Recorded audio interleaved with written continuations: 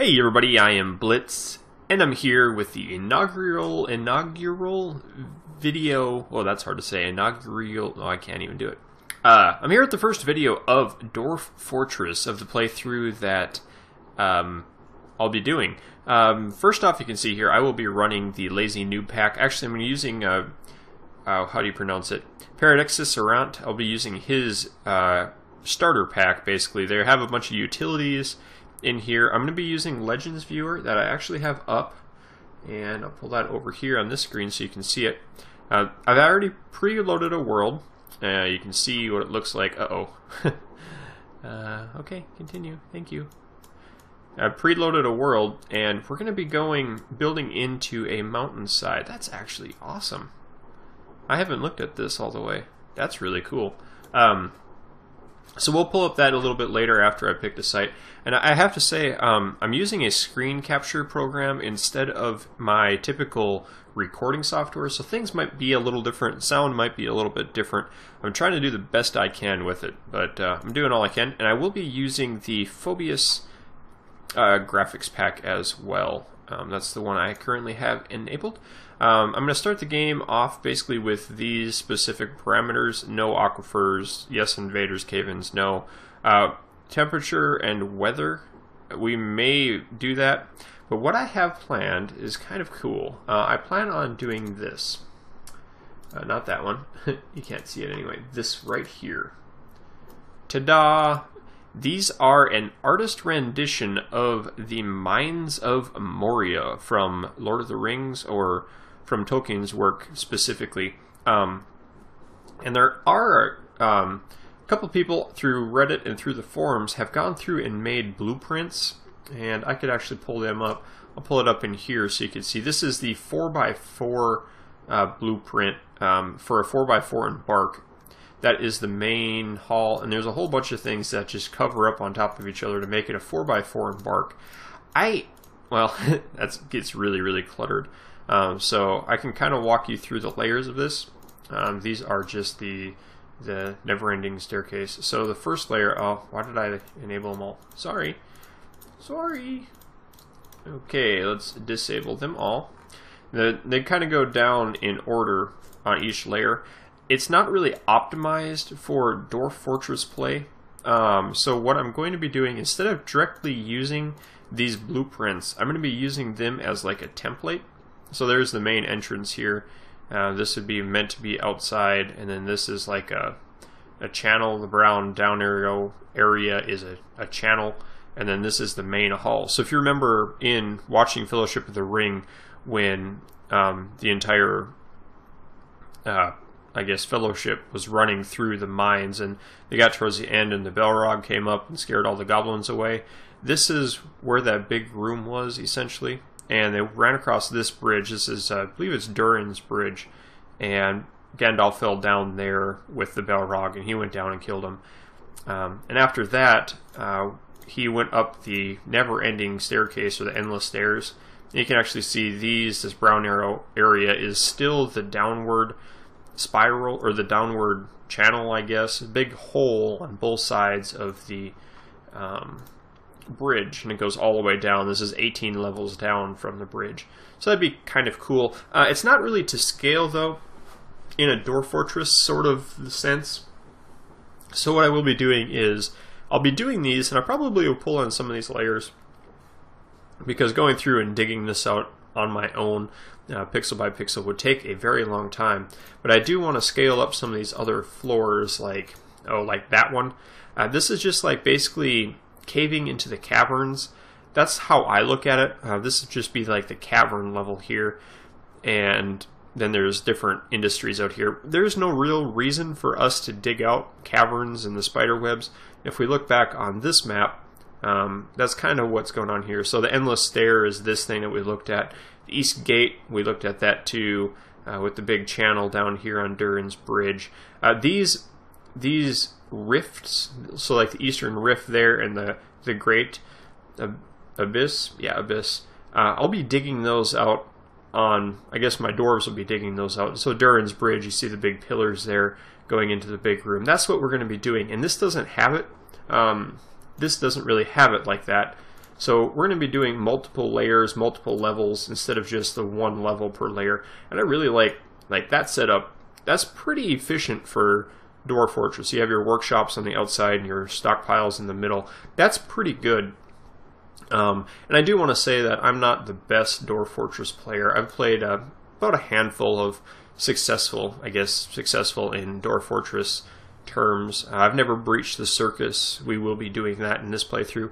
And I actually want to have this playthrough go 1,000 years. Uh, I've I've seen people try to do it. I don't know if we'll actually make that or not. But uh, yeah, we're going to try it. So um, without further ado, I guess let's uh, start up Dwarf Fortress. I think I've got all of the basics covered, and I'm to pull this over so you can see the intro splash screen. For those of you who have not seen it. Uh, like the game, you guys probably know the game is very basic. Uh, it's all ASCII text in the in the regular sense of the term. Uh, ASCII. I'm going to turn down that a little bit. I love that intro, and I do have Quick Fort on. I should really get rid of that. Um, I forget what the actual. Uh, I forget what the actual I think it's Alt H. Yeah, Alt H gets rid of that. So uh, what we're going to do, and I went through, and I'll show you my the parameters I ran, and I haven't quite picked out an area yet uh, to go, but I did a large world. Uh, history was medium, number of civilizations medium, and I went uh, high beasts, high savagery, and frequent mineral occurrence. That's what I did to generate the world, and I got some pretty cool ones. Um, if I go, this is region 3 is what we're going to go with, and that's what I already did with the Legends mode. I've exported all of that out, so you guys can see that. And this will take just a little bit of time to get going. Here we are. Here's the world. so you guys have probably seen this. Some of you have seen it. It's a lot to take in. Um, the far left side is the local map. Well, let's go with the big one. The big one's the world, so that's essentially the Legends map. Oh, go away. It's go away. I'm scrolling the mouse wheel. Um, this is about the same as the other one, so the same generalized world.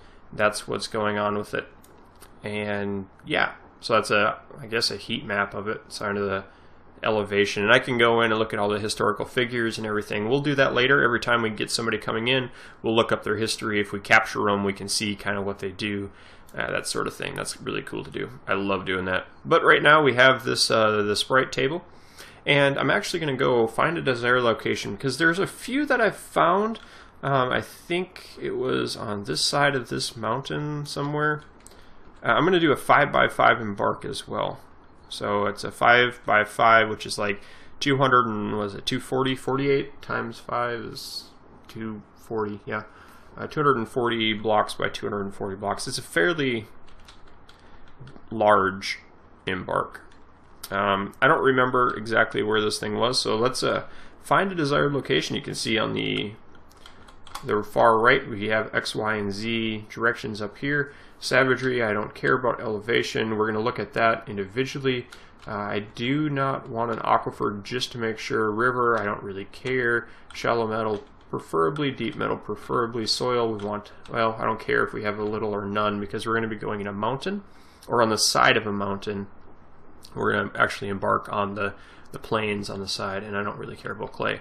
So I'm going to do this search, and I'll probably do a time lapse of this as it is searching because it'll take quite a while. See, it's popping up here, flashing. Oh, I messed something up, I think, because everything's coming in green and it'd be very, very hard to embark on an ocean. Let's cancel that. What did I do wrong? Savagery elevation. I guess there is area. There are areas here. Uh, maybe that's all right. Fluxstone. Oh, I want a fluxstone too. That's what I wanted. So, uh, fluxstone, yes. And now it'll search. Now this should be a little better. Here we go. So you can see there the red X's are places we cannot go. So I'm going to time lapse this and we'll be back shortly.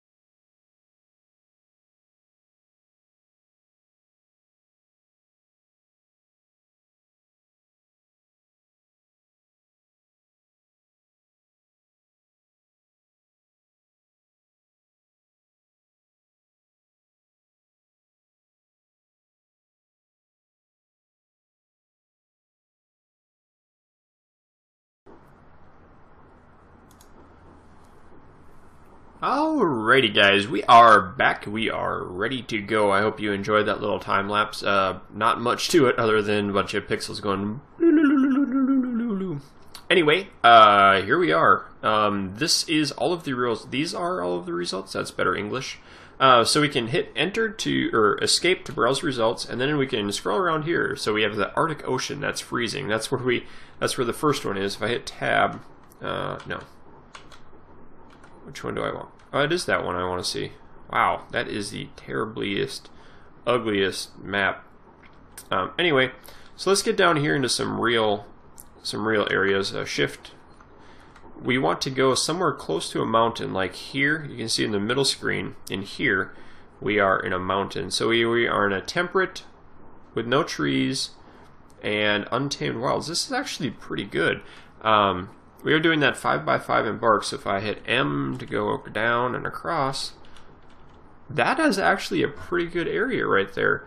Um, brook, shallow metals, deep metals, yeah, maybe not. Um, I don't know. We can keep looking. Uh, we can make a note there, or we can just keep scrolling around. This might be better here.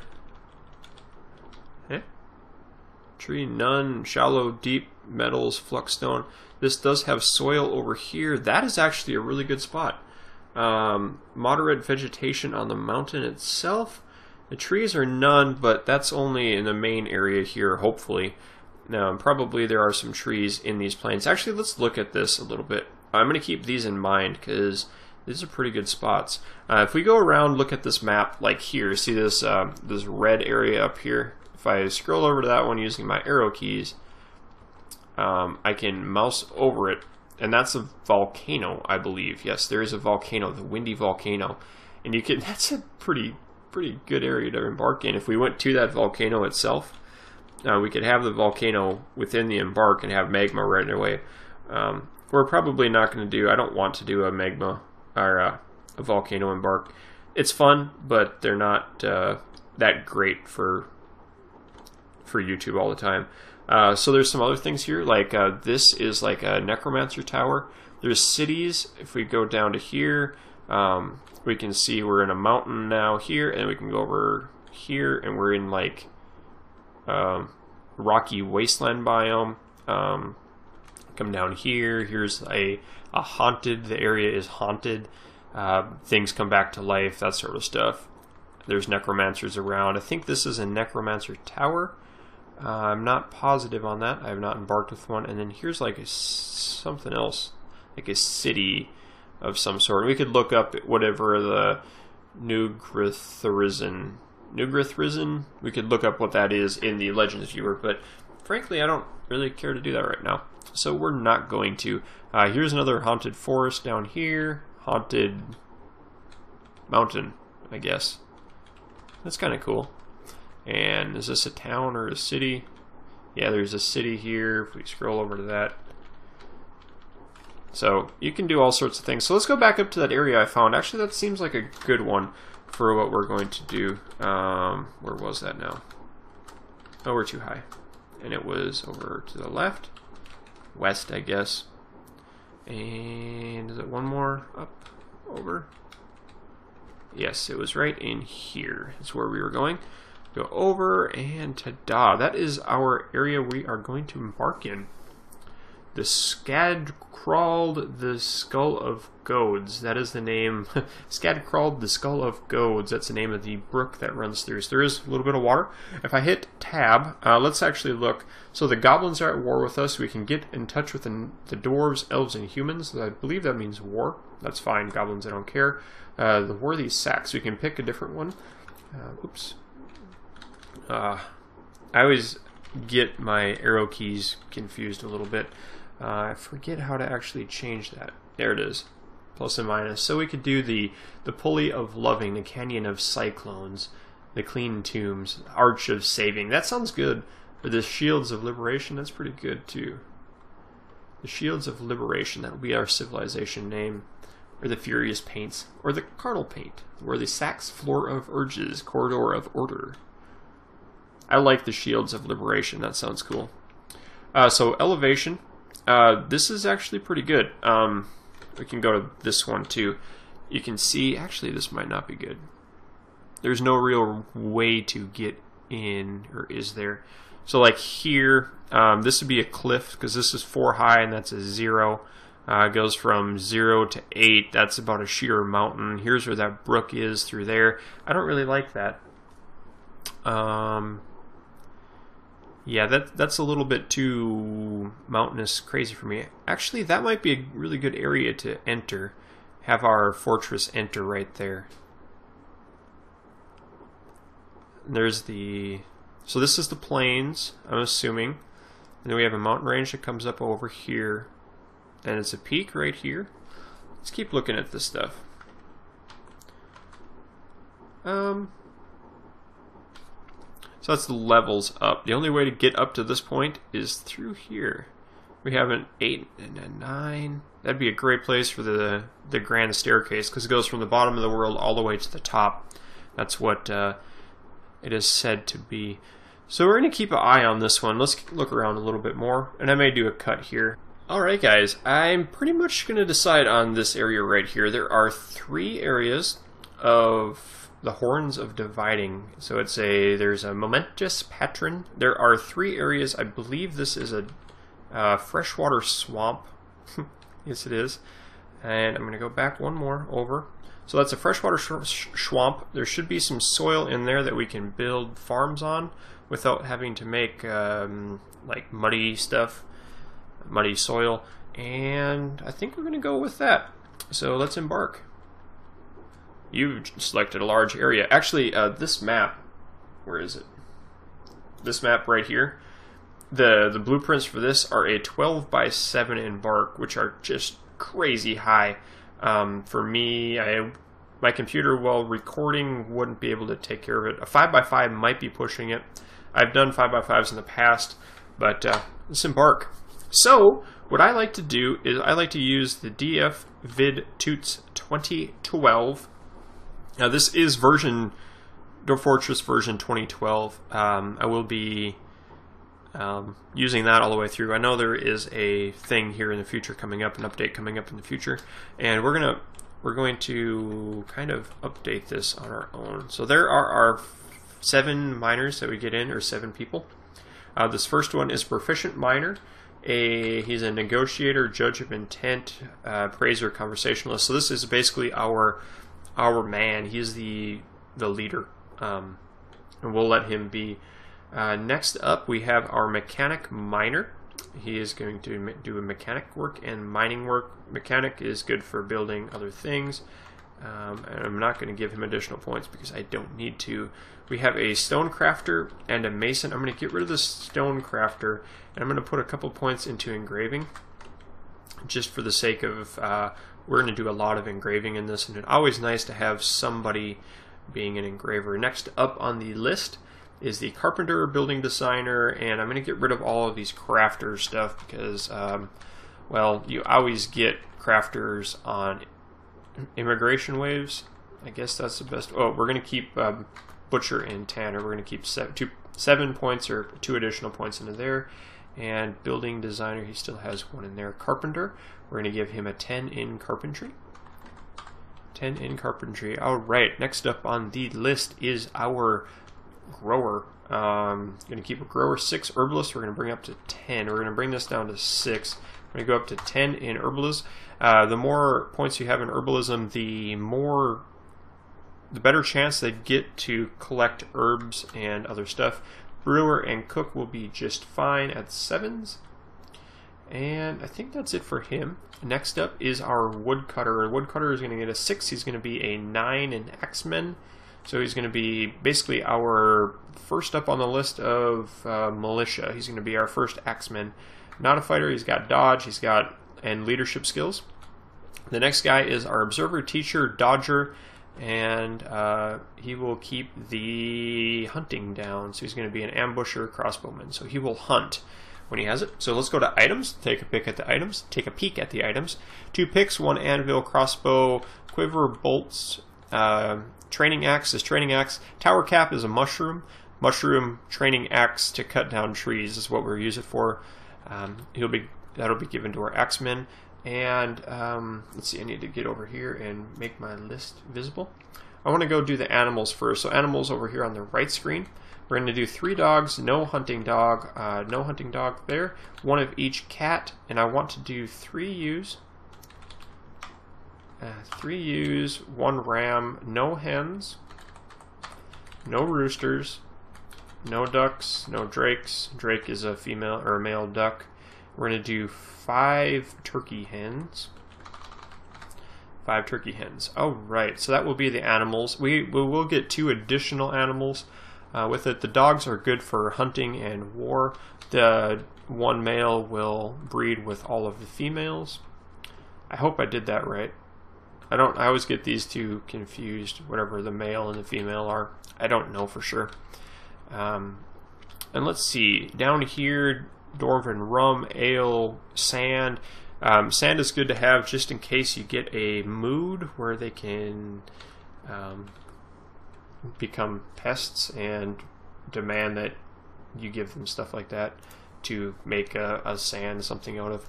Um, let's go with up to 11 on the wine. And the additional, this is kind of a trick in the game. If you go up to like a 6 or a 5, you get an additional sack with these or a bag with these and you have the um, the dog meat and stuff. You get you get bags with these things, and the more bags you have, the better it is because you don't have to make them. You don't have to embark with them either. I'm not sure why these have the embark on them. We'll get rid of those. We have 39 remaining points down there. You can see our points. Uh, what else do I have on the list? Um, sand. Sand should be good.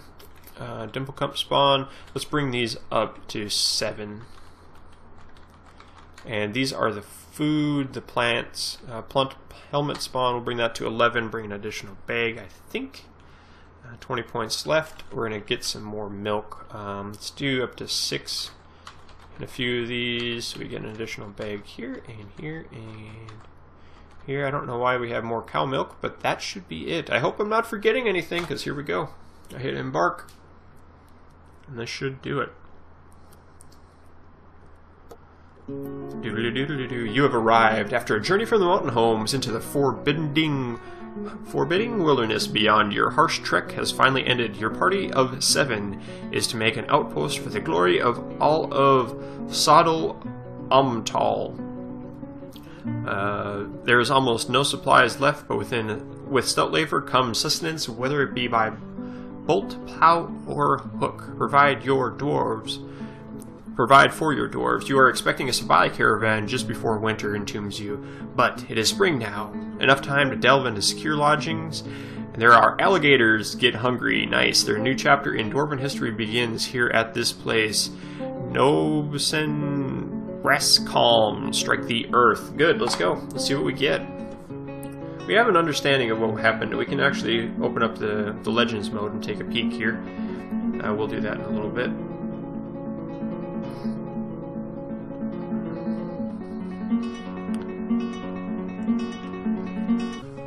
It takes quite a long time to load up. Uh, that uh, time lapse that I did was actually six minutes or seven minutes worth of video, all cut down into like one minute or 30 seconds of it going. So it does take a long time to really load all of this stuff and go with it.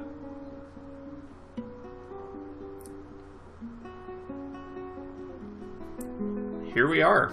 Alright, so this is what we have. This is the world. We're to hit space to pause it. I'm to hit tab to get rid of that side, tab twice, and here's our world. So let's explore a little bit. This is a huge flat area. That's really cool. Uh, let's see what the rock type is. Is a claystone. Okay, claystone is just a, a derpy rock. Nothing special about it. And down a layer is uh, the less greater than sign. And we have shrubs. Um, that shrub should have dense common reed. So there's some good stuff here. Shrubs. Um, there are some ponds too. Ponds are sweet. Uh, and this, what is this? This is claystone. Uh-oh, might not have soil. May have to drain one of these down below ground to get um, some water down there. Uh, dwarves drink alcohol almost specifically. Specifically, yellow sand. So we do have sand. Uh, lignite. Lignite's a coal. That's awesome. And what is this rock claystone? And over here we have jet. Jet is a solid rock, so that's cool too. So we're gonna have to pick a place. This is actually a really good. I want to do like three wide. This might be a really good entrance area here. Right, it's close to where we embarked originally. Uh, I don't know where the alligators can actually hit uh, you to see if there's anything. We have three uh, marmot. I think they're fine.